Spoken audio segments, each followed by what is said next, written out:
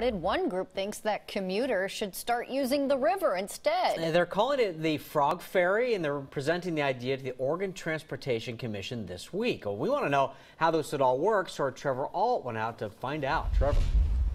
Hey, Dan and Jennifer, good afternoon. It's a pretty simple idea. Frog Ferry would take commuters along the Columbia and the, uh, the Willamette, the natural infrastructure of the region, as a way to avoid some of this traffic, which has been building and building, as we all know. Now, this is still in its early stages, but the plan would be to use these ferries that could take as many as close to 600 commuters and then shuffle them onto these boats equipped with bike racks, though not car storage. At first, it would just run between Vancouver and downtown Portland, but assuming demand is met, they would introduce eight or more stops on the Willamette. They would even stretch out the routes as far as Lake Oswego and Troutdale. The the estimate is that they could eliminate 500 cars per commute. That's the equivalent of three and a half miles of congestion on I-5. And the people that I talked to who know the area well seem to be on board with the plan.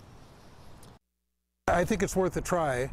I'm, I would like to know more about the cost of it. Sure. Uh, but I think anything's worth a try at this time. It's, it's really getting ridiculous. Well, we also wanted to know about the cost. We found out the plan to finance the Frog Ferry is a long way from being finalized, but we know it would be a joint public and private enterprise. The founder and president sent me a statement that said at this point they are just exploring if a commuter ferry is feasible, but they are talking with several public and private entities to try to make this a reality, and they've gotten some encouragement from Governor Brown and Mayor Ted Wheeler. They're going to be informing the Oregon Transportation Commission on Friday about the plans and what they are hoping to do. And then they said they're going to have a more formal announcement later this month. The hope, tentatively, is to have Frog Ferry up and running by the summer of 2022. Reporting live this afternoon from Vancouver, Trevor Alt, KOIN 6 News. They have these pedestrian only ferries in Seattle. Very interesting. Thank you, Trevor.